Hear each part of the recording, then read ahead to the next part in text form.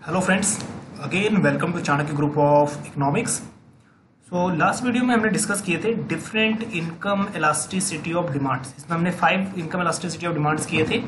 इस वीडियो में भी हम डिफरेंट डिस्कस uh, करेंगे different effects in an economy so we are going to discuss here bandwagon effect snob effect rest effect Veblen effect and last में Pigou effect तो ये different जितने भी डिफरेंट इफेक्ट्स हैं बैंडवोगन इफ़ेक्ट या फिर demonstration effect ये सभी टर्मोलॉजी काफ़ी इंपॉर्टेंट है।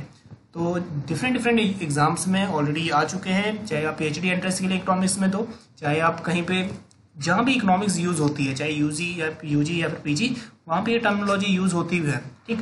तो अगर हम बात करें यूजीसी नेट की तो बार बार रिपीटेशन फॉर्म में यहाँ से क्वेश्चन आते ही हैं। चलिए, सबसे पहले हम डिस्कस करते हैं bandwagon effect and demonstration effect तो अगर हम इसको ईजी लैंग्वेज में, अपनी लैंग्वेज में कहें तो ये है दिखावा। मतलब अदर पीपल कर रहे हैं इसलिए हमें करना है। so, मतलब whatever we are doing because other people are doing so so अगर वो कर रहे हैं तो हमें भी करना है। तो ये इसकी जो मेन थ्योरी है साइकोलॉजिकल फिनोमिना ही है एक। ठीक? तो bandwagon effect is a psychological phenomena in which people do something because other people are doing it ये मेन इसकी थ्योरी का मेन थ्रस्ट यही है। हम ऐसा कुछ कर रहे हैं क्योंकि अदर पीपल कर रहे हैं। Regardless of their own beliefs they don't bother कि उनको ये चीज़ नीडफुल भी है या नहीं?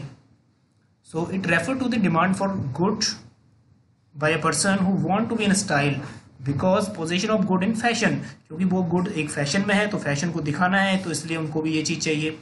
And therefore many other habit और इसीलिए क्या करेंगे, जो अदर पीपल है, वो भी इसको परचेज करेंगे। So bandwagon effect is an example of positive network externality अब ये पॉजिटिव एक्सटर्नैलिटी है, और जो हम करेंगे नेक्स्ट स्नोप इफ़ेक्ट नेक्स्ट में स्नो इफ़ेक्ट करेंगे, ये नेगेटिव एक्सटर्नैलिटी है। अब इसका मतलब क्या है? ये चीज़ जानने के लिए हम, हमें देखना पड़ेगा इसका आस्पेक्ट कि ये किस सेंस में बोल रहा है। तो बैंडवैगन इफ़ेक्ट का मतलब क्या है? एक चीज़ ने इसकी डिमांड इंक्रीज की। ठीक है? मतलब एक पर्सन ने पर्सन वन ने इसकी डिमांड इंक्रीज की। अब इसकी, जो इसने गुड परचेज किया, यही गुड अब दूसरे को भी चाहिए। तो दूसरे पीपल की भी जो डिमांड है इस गुड्स के लिए इंक्रीज हुई। तो ओवरऑल प्रोडक्शन क्या हुआ? इकोनॉमी में इकोनॉमी प्रोडक्शन इंक्रीज होना शुरू हुआ। मतलब एक पॉजिटिविटी फैली। प्रोडक्शन उस चीज़ का इंक्रीज हो रहा है इकोनॉमी में एक्टिविटी इकोनॉमिक एक्टिविटी इंक्रीज हो रही है। तो एक पॉजिटिव इफ़ेक्ट पड़ा, ठीक है? उसके हिसाब से एम्प्लॉयमेंट भी बढ़ेगा इनकम भी बढ़ेगी। तो इकोनॉमी एक पॉजिटिव नेटवर्क एक्सटर्नैलिटी जनरेट हुई। एक्सटर्नैलिटीज तो आई एक्सटर्नैलिटीज नेगेटिव भी होती हैं और पॉजिटिव भी होती हैं। So quantity demanded of buyer increases in response to increase in the quantity purchase by other individuals तो हमारी डिमांड इंक्रीज होगी अगर अदर इंडिविजुअल्स भी उसको फॉलो करेंगे। मतलब अदर्स ने फॉलो किया या फिर हम उनको फॉलो कर रहे हैं, या फिर हमने कोई चीज़ हमने कोई चीज़ अडॉप्ट की अदर्स फॉलो कर रहे हैं तो डिमांड इसमें क्रिएट होगी। And demand curve for bandwagon effect is more elastic अब व्हाट इट मीन्स कि डिमांड कर इसकी मोर इलास्टिक है। तो ये भी क्वेश्चन आ जाएगा कि ये किस सेंस में पूछ रहा है कि मोर इलास्टिक है। यहाँ पे है availability of substitute availability of substitute या फिर इजी इजी अगर कोई चीज़ अवेलेबल हो जाती है, उस चीज़ के लिए जो डिमांड है, वो मोर इलास्टिक हो जाती है, क्योंकि वो इजीली अवेलेबल है। तो इस सेंस में यहाँ इजिली अवेलेबल मतलब एक के पास है, वो दूसरे के भी पास भी है, और दूसरे के पास है, वो तीसरे के पास भी है, क्योंकि वो उसको परचेज करना चाहता है। तो इस सेंस में यहाँ पे जो डिमांड है, या फिर बैंड वोगन की डिमांड कर में यहाँ पे मोर इलास्टिक है, और स्नो इफ़ेक्ट में बिल्कुल उल्टा होगा। So bandwagon effect is also called as demonstration effect and next one is ये भी थोड़ा इंपॉर्टेंट है in economics band effect and snob effect used by Harvey Leibenstein और हार्वे लेविनस्टाइन ने थ्योरी भी दी थी क्रिटिकल मिनिमम एफर्ट थ्योरी ठीक? International that is growth and development की। चलिए next one second snob effect अब स्नो इफ़ेक्ट जस्ट अपोजिट है, और स्नो इफ़ेक्ट के क्वेश्चन कई बार आ भी चुके हैं। अब फ़र्स्ट में क्या था? जैसे ही एक की एक की डिमांड बढ़ रही थी तो दूसरे की भी डिमांड इंक्रीज हो रही थी। लेकिन इसमें ऐसा नहीं है। इसमें ये चीज़ है, अगर एक की डिमांड इंक्रीज होगी, इस गुड्स में मतलब लोग ज़्यादा परचेज करने लगेंगे तो दूसरों की जो डिमांड है, जो रिचर पर्सन है, उनकी डिमांड इस के लिए कम हो जाएगी। स्नो इफ़ेक्ट जो रेयरेस्ट चीज़ें हैं, जो काफ़ी एक्सपेंसिव है और रेयरेस्ट हैं। So snob effect is the desire to possess a unique commodity having a prestige value एक यूनिक कमोडिटी है और उसकी प्रेस्टीज वैल्यू है। और प्रेस्टीज वैल्यू होने के कारण उसको कम लोग ही अफोर्ड कर पाते हैं। So the quantity demanded of commodity having a snob value is greater अगर कमोडिटी की स्नो वैल्यू ज़्यादा है, उसी उसी की स्नो वैल्यू ज़्यादा होगी। अगर वो स्मॉलर पीपल के पास होगी the smaller the number of people owning it जितने कम लोग उसको परचेज करेंगे, उतनी उसकी स्नो वैल्यू वो होगी ज़्यादा। And for example demand for rare paintings example कुछ दिए हुए जैसे रेयर पेंटिंग्स की डिमांड होगी and demand for specially design sports car specially design clothes तो इन चीज़ों की जितने ही सेल कम होगी मतलब जितने ही पीपल इसको ऑन करेंगे कम, उतने ही इसकी जो स्नोब वैल्यू है वो ग्रेटर होगी।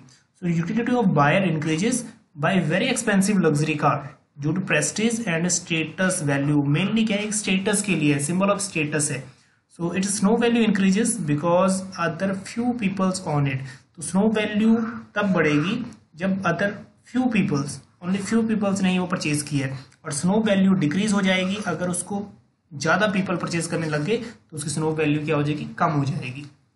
So snob effect in concept related to negative externality अब नेगेटिव एक्सटर्नैलिटी कैसे जुड़ा हुआ है? अकॉर्डिंग टू प्रोडक्शन जैसे ही इसका प्रोडक्शन बढ़ेगा मतलब uh, जो भी ऐसे गुड्स हैं उनकी प्रोडक्शन अगर बढ़ गई प्रोडक्शन बढ़ गई मतलब अवेलेबिलिटी उनकी ज़्यादा होगी इकोनॉमी में अवेलेबिलिटी ज़्यादा हो जाने से क्या होगा? उसकी जो स्नो इफ़ेक्ट है वो हो जाएगी कम। तो ऐसा नहीं है। स्नो इफ़ेक्ट यहाँ पे स्नो इफ़ेक्ट तभी बढ़ेगा जब उस प्रोडक्शन उस चीज़ का कम होगा। मतलब कम ही लोग उसको परचेज कर पाएँगे। तो ये गुड्स ऐसे हैं जो कम अगर इसको ऑन करेंगे लोग, कम परचेज करेंगे तो इसकी स्नो वैल्यू उतनी ही बढ़ेगी। तो ये क्या करता है? प्रोडक्शन को ये, यही सोचेंगे कि प्रोडक्शन सबसे कम हो मिनिमम हो और प्राइस हाईएस्ट हो, ताकि सबसे कम से कम लोग अपने स्टेटस के लिए इसको परचेज कर पाए। तो यहाँ पे नेगेटिव एक्सटर्नैलिटी होगी। क्योंकि प्रोडक्शन कम होगा तो इनकम कम होगा एम्प्लॉयमेंट कम होगा तो यहाँ पे जो क्रिएट नेगेटिविटी क्रिएट होगी इकोनॉमी में, ठीक? और डिमांड कर्व डिमांड कर्व ऐसे गुड्स की क्या हो जाएगी? लेस इलास्टिक अब अवेलेबिलिटी ऑफ़ सब्सिट्यूट क्योंकि कम प्रोडक्शन है, बहुत कम, और कम लोगों के पास है तो availability of that good is very smaller so इस केस में जो इस केस में जो ये डिमांड कर्व है, उसकी वो हो जाएगी less elastic okay third one is rest effect rest effect ये थोड़ा बहुत डिस्कस किया है केंज ने भी और डिस्कस किया है ड्यूजनबेरी ने भी अपनी थ्योरी में। अब सिंपल लैंग्वेज में केज ने भी यही बात कही थी, जैसे ही इनकम इंक्रीज होता है कंजप्शन भी इंक्रीज होता है। लेकिन इनकम जो चेंज होता है, वो ज़्यादा चेंज होता है कंजप्शन में चेंज होने से। ठीक? और एक बात ये कही थी इनकम इज़ इरिवर्सिबल जैसे ही आपकी इनकम बढ़ती है वैसे वैसे करप्शन भी बढ़ता है, लेकिन क्या होगा अगर इनकम डिक्रीज हो जाए? अगर इनकम डिक्रीज हो जाए तो जो कंजप्शन है, वो भी डिक्रीज वो डिक्रीज नहीं होता। इनकम डिक्रीज होने से कंजप्शन आपका डिक्रीज नहीं होता। कंजप्शन आपको वही मेंटेन करके रखना पड़ेगा, ठीक? तो यहाँ पे यही टर्म्स काफ़ी इंपॉर्टेंट है। तो उसी टर्म्स को हम बोलते हैं रेस्ट इफ़ेक्ट मतलब जब इनकम कम होगी, अब आपको प्रीवियस ईयर का स्टैंडर्ड ऑफ़ लिविंग मेंटेन करना पड़ेगा। तो आपका कंजप्शन यहाँ पे वही कांस्टेंट है। कंजप्शन डिक्रीज नहीं हुआ। तो उसी को हम बोलते हैं rest effect so it says that the matter of consumption in an an individual is not merely influenced by current income but also by standard of living in the past so according to Duesenberry जो current status है, वो depend करता है standard of living in the past so current income influence by standard of living in the past so the consumers are not easily reconciled to fall in their income तो जैसे ही fall होती है consumer की income तो उसको follow नहीं करते। जो अपना कंजप्शन पैटर्न है, उसको फॉलो नहीं करते मतलब कम नहीं करते इनकम के साथ साथ so they are hard to maintain their previous standard of living जो पहले का स्टैंडर्ड ऑफ़ लिविंग था, वही मेंटेन करके रखते हैं। और रियल लाइफ में आज ये इकोनॉमी में एग्जिस्ट भी करता है। So this is to maintain their position among their relative friends neighbours तो वो पोजिशन उनको मेंटेन करके रखनी है स्टेटस मेंटेन करके रखना है। तो इनकम डिक्रीज होने से वो कंजप्शन को फॉल डाउन नहीं करते। So consumption as a proportion of income goes up as income increases जैसे ही इनकम बढ़ेगा, वैसे ही कंजप्शन भी बढ़ेगा। And does not fall in the same proportion as income falls लेकिन जब इनकम इंक्रीज होगी तो कंजप्शन सेम प्रपोर्शन में फॉल नहीं होगा। अगर कम होगा तो बिल्कुल कम प्रोपोर्शन में फॉल डाउन होगा। In other words consumption is not reversible ये बात थोड़ा सा इंपॉर्टेंट है। ये रिवर्सिबल है या नॉट रिवर्सिबल है? कंजप्शन नॉट रिवर्सिबल है क्योंकि इनकम के साथ साथ कंजप्शन बढ़ तो जाता है, लेकिन इनकम के कम होने से कंजप्शन कम नहीं होता रिवर्स नहीं आता not reversal so this is not an ratchet effect तो इस कॉन्सेप्ट को हम बोलते हैं रैच्ड इफ़ेक्ट काफ़ी इजी कॉन्सेप्ट है। उसके बाद आता है वेबलन इफ़ेक्ट वेबलन इफ़ेक्ट काफ़ी most widely widely asking question है और वाइडली आस्क क्वेश्चन है, काफ़ी बार पूछा भी जाता है। वेबलन इफ़ेक्ट जैसे ही आपकी इनकम बढ़ेगी इनकम के साथ साथ डिमांड तो बढ़ेगी बढ़ेगी, लेकिन इसका रिलेशन है प्राइस से। जैसे ही प्राइस बढ़ेगा, इसकी जो डिमांड है कमोडिटी की, वो भी बढ़ेगी। तो क्या पॉजिटिव रिलेशन हो गया डिमांड के साथ और लॉ ऑफ़ डिमांड हो गया यहाँ पे fail so a theory of consumption that suggest that consumer may have upward sloping demand curve as opposed downward sloping demand curve demand curve downward होती है, लेकिन इस सेंस में क्या हो जाएगी? अपवर्ड और इसी को हम बोलते हैं कॉन्स्पिकस कंजप्शन मतलब थोड़ा सा खर्चीला consumption so the Veblen effect और ये वाला क्वेश्चन कई बार रिपीट होकर आ गया है conspicuous consumption is related with which good या फिर विच इफ़ेक्ट तो जुड़ा हुआ है वेबलन गुड या फिर Veblen effect so the Veblen effect suggest that the quantity demanded of a particular good varies directly with the change in price तो जैसे जैसे आपकी इनकम जैसे जैसे प्राइस बढ़ेगा वैसे वैसे क्वांटिटी डिमांड भी बढ़ेगी। ठीक तो एक पॉजिटिव रिलेशन है। तो प्रोफेसर वेबलिन ने ये कॉन्सेप्ट दिया था और उन्हीं के नाम पे पड़ गया Veblen effect so example of Veblen goods include expensive Rolex watch designer handbags certain wines jewellery and luxury cars तो इसमें भी लग्जरी टाइप सी है, जैसे जैसे प्राइस बढ़ेगा, वैसे उनकी डिमांड भी बढ़ेगी। So they are in demand because they are expensive simply the people who buy them want to show that they have style, class, money and good taste तो ये स्टेटस दिखाने के लिए ही एक स्टेटस ऑफ़ सिंबल या symbol of status दिखाने के लिए ही ये गुड्स परचेज करते हैं। जैसे प्राइस बढ़ेगा वैसे क्वांटिटी डिमांड भी इंक्रीज होगी। सो so, अब डिस्कस करते हैं कि डिमांड कर्व तो प्रेफर्ड प्राइस में डिफरेंट प्राइजेस पे डिमांड कर नॉर्मल गुड्स की क्या होती है? जैसे जैसे प्राइस कम होता है वैसे वैसे इसकी डिमांड इंक्रीज होती है। लेकिन यहाँ इस केस में दूसरा है। जैसे जैसे यहाँ पे प्राइस इंक्रीज होगा वैसे वैसे इनके जो डिमांड है क्वांटिटी डिमांड भी वो चेंज होगी, ठीक?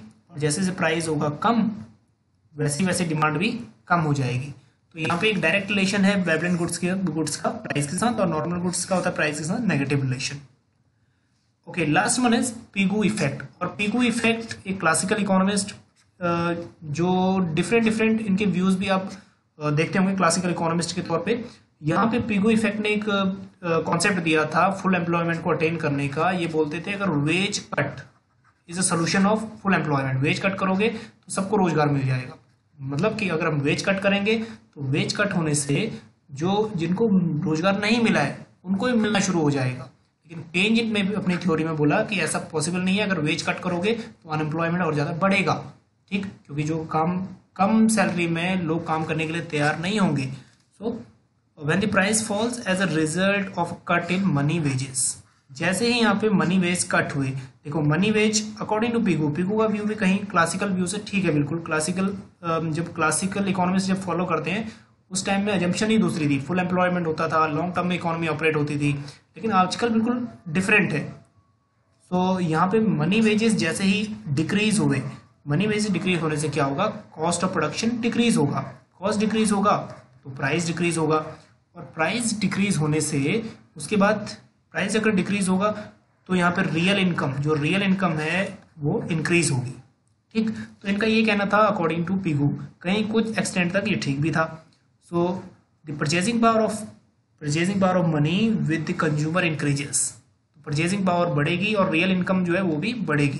So there is an increase in the real value of money जो रियल मनी की रियल वैल्यू है, वो भी इंक्रीज होगी। तो इनका ये कहना था का so people feel that they are now better off and they increase their consumption expenditure वो क्या कहते थे? उनकी जो रियल इनकम है ना, वो इंक्रीज होगी है। अब पीपल ये सोचेंगे उनकी इनकम इंक्रीज होगी है तो डिमांड भी वो इंक्रीज करेंगे अपनी। तो इस हिसाब से इकोनॉमी क्या है? फुल एम्प्लॉयमेंट को अटेन कर लेगी। सबको काम मिल जाएगा। और इसी इफ़ेक्ट को this lead to expansion in GDP और डिमांड बढ़ेगी तो प्रोडक्शन बढ़ेगा सप्लाई बढ़ेगी। तो ये जो जीएनपी है ग्रोथ नेशनल प्रोडक्ट है, उसको भी इंक्रीज करेगा। And has refer to Pigou effect तो इसी को हम बोलते हैं पीगू इफ़ेक्ट फिर उसके बाद केंजन इफ़ेक्ट आता है। केंजन इफ़ेक्ट में केंज सोल्यूशन देता है कि ये सोल्यूशन नहीं है वेज कट ठीक? तो अगर हम वेज कट करेंगे तो अनएम्प्लॉयमेंट और ज़्यादा बढ़ेगा। तो यहाँ पे हमने डिस्कस किया ये पाँच इफ़ेक्ट और पाँचों effect economic point of view से काफ़ी इंपॉर्टेंट है और डिफरेंट डिफरेंट कॉम्पिटिव एग्ज़ाम में रिपीट होके आते हैं नेक्स्ट वीडियो में हम डिस्कस करेंगे कोई भी एक टॉपिक माइक्रो इकोनॉमिक्स का। ठीक? बने रहिए, चाणक्य ग्रुप ऑफ़ इकोनॉमिक्स के साथ मिलते हैं आपको नेक्स्ट वीडियो में। Thank you